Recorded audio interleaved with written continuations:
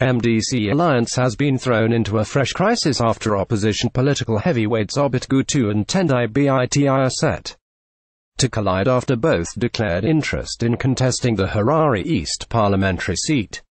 Former Finance Minister Tendai Biti Gutu, who is spokesperson for the MDC, is eyeing Harare East constituency that has, however, been reserved for the People's Democratic Party.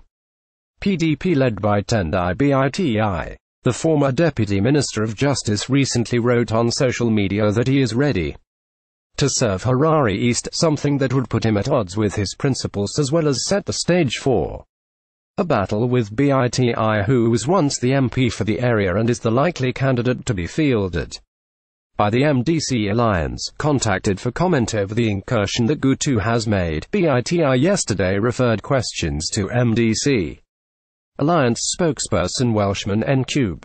All alliance matters should be directed to the spokesperson of the alliance, BITI said.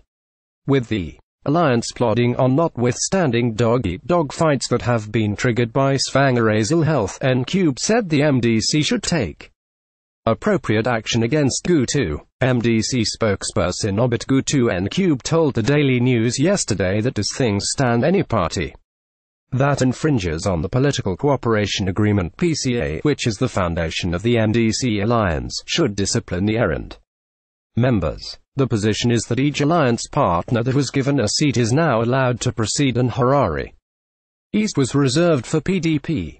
Through the negotiating proceedings the parties agreed that they will not contest each other.